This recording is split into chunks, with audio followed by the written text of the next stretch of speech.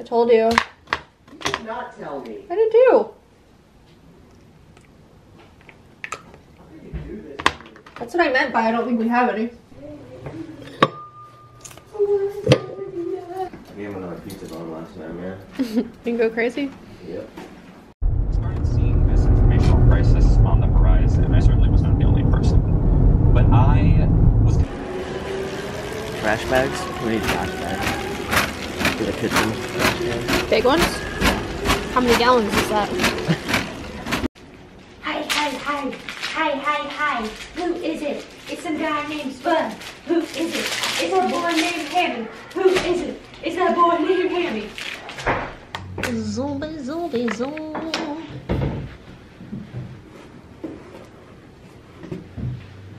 Zombie, zombie, zombie.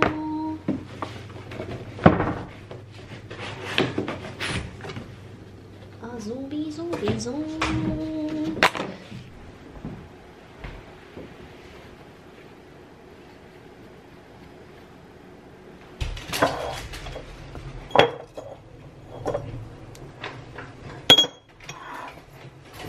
Late, a little late in the day, huh?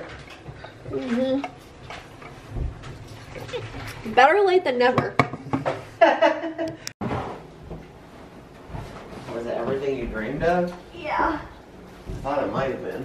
I feel like the couch is off center from the rug. Oh.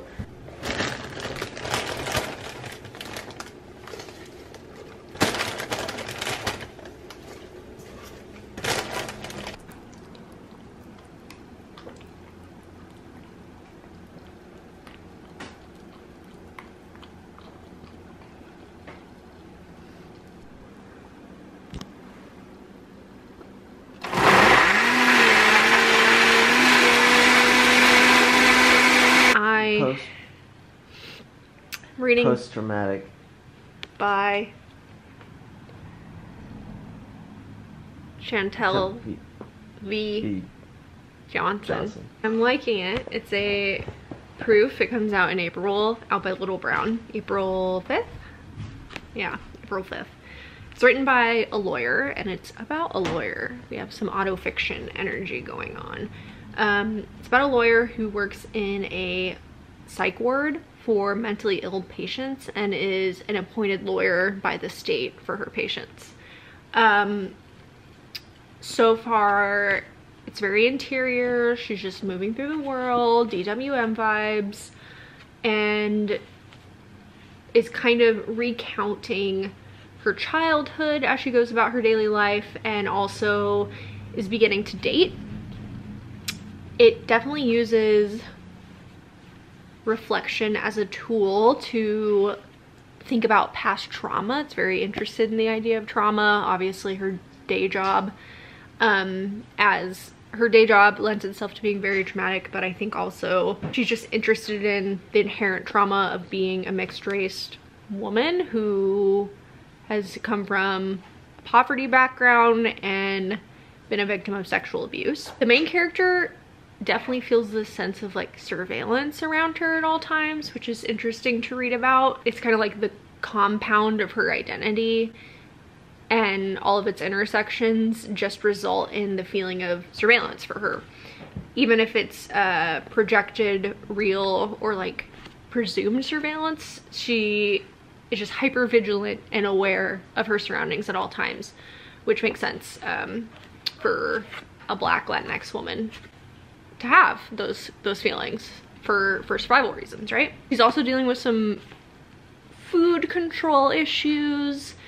I think it's definitely like balancing that hyper overachiever controlled like perfection of what what a model minority like success story looks like as she's you know risen from her humble upbringings and now she's a, a lawyer living in new york city versus like what's happening in the undercurrent inside of her which i think is um an interesting duality. There's a lot of lot of dualities in this book a lot of um comparisons of the perceived and what's what's actually happening.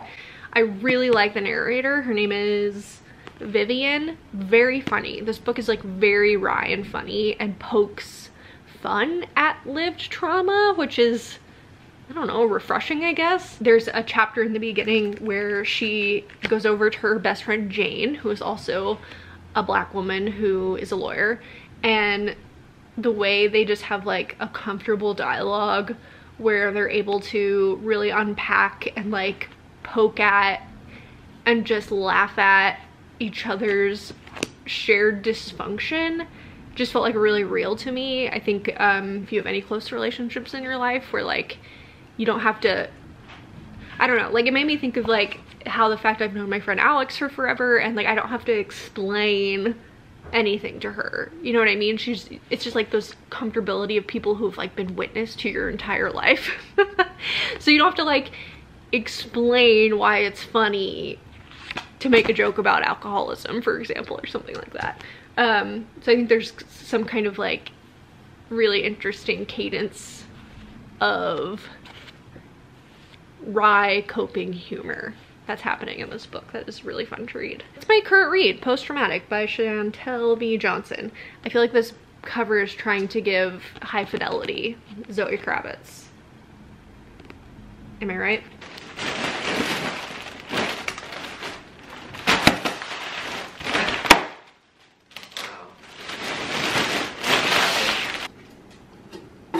Do you think you'll miss the most about the house?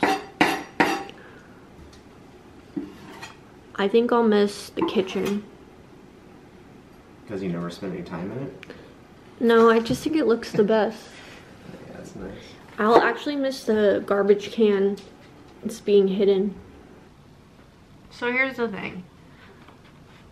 I don't think I read a single book in February, but I did start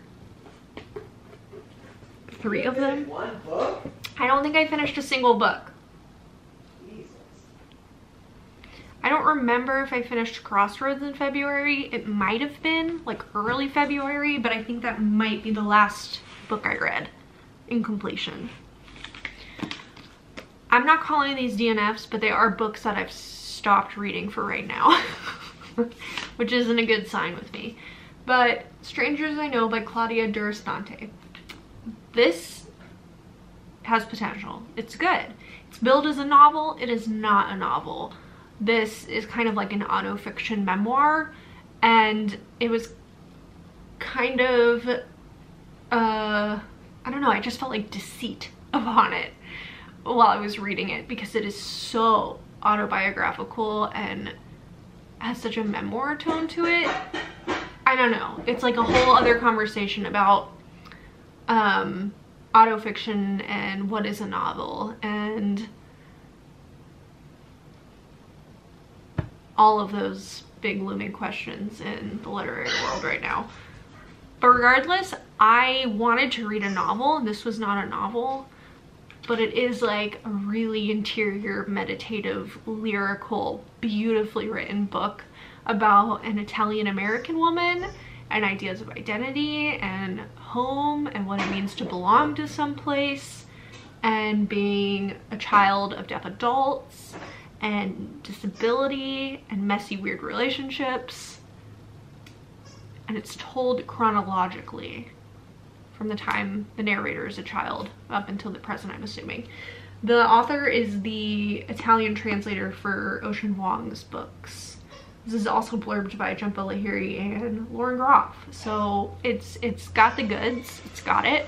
I'm just like, need a story right now. You know what I mean? This is way less of a, a DNF. I actually am still actively reading this. Manual for Cleaning Women by Lydia, nope, by Lucia Berlin.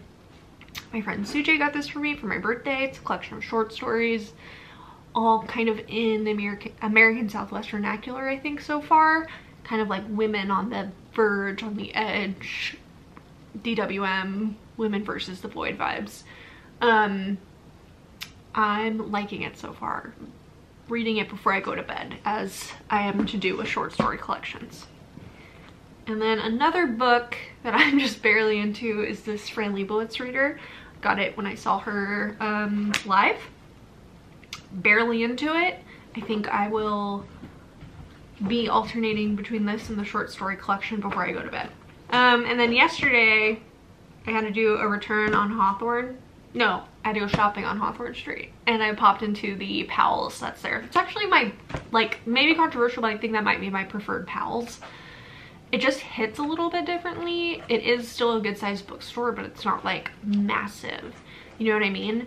And they actually had this in stock when main Powell's didn't a few weeks ago.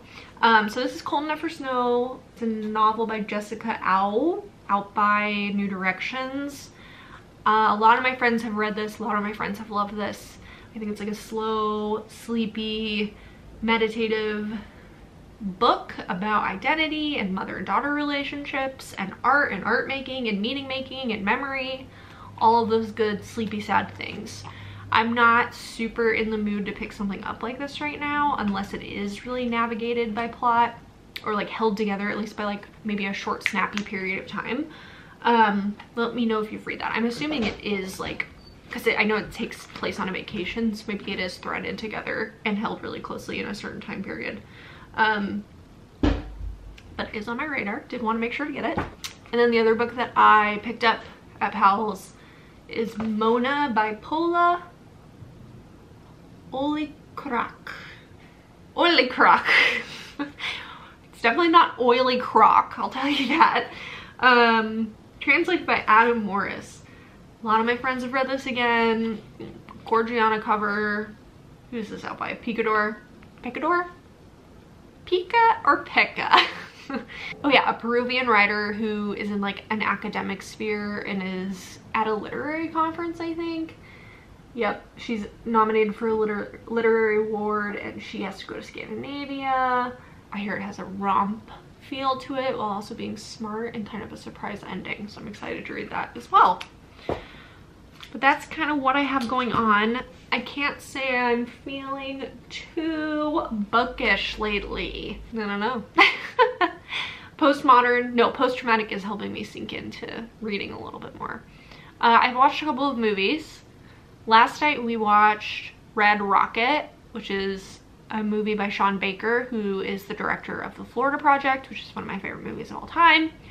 This movie did not work as well for me as The Florida Project did. I think it was a long, drawn-out character study of kind of like one scumbag, which I think Sean Baker is really good at. I liked, I liked, I liked the movie. I liked the visual vernacular of like rundown small town small town Americana. Um, I think Sean Baker, I need to research him, but he is like kind of horny for poverty porn in his movies, um, which is kind of a red flag when it's a white male director to me. Um, but I thought the lead performance was really well done, but I think the pacing overall left it kind of lackluster for me, maybe a little sleepy. And then the day before that, we watched Fresh, which is a new like horror comedy movie starring Daisy Edgar Jones and Sebastian Stan on Hulu. I thought it was fun and rompy and um, ridiculous and campy.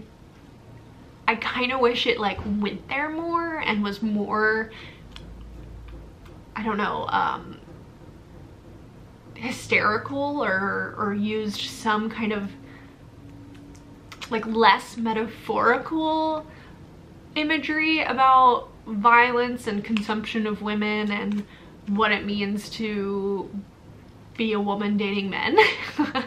Um, and like under the threat of perceived violence but it still works for me overall. I think it's worth worth a watch. And then i'm going to go see x this week with um, Kiki and my friend Taylor and Ale.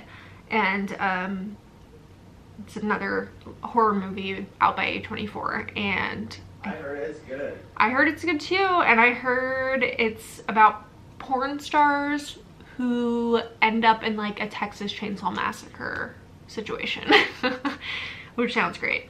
I actually was looking at Letterboxd last night. I love Letterboxd. I wish I wish Storygraph was like Letterboxd. I think Letterboxd is actually like a really good peer review media app. Um, there needs to be a book equivalent to it. Letterboxd should make it themselves. The the share function of being able to share to stories and like view view reviews succinctly is great. That app's interface is amazing. Um, shout out to Letterboxd. But I was on Letterboxd last night and you can make lists, which are like, you know, little curated list of certain movies that fall under a certain theme. And I looked up A24 and they have like a list on there of A24 based on release date. And I think it would be fun to maybe try to watch them all in chronological order. Um, yeah. I know, not very um, inventive or original to like A24 movies, but hey, they're good. Sorry. Like, I'm not a film head per se. Don't really know a lot of the historical cool things to like. Same with books, right? Like, I don't know what I'm doing, just, just reading and watching stuff and I like it. Uh, that'd be fun one day, maybe. Reading challenge? Watching challenge, I mean. uh,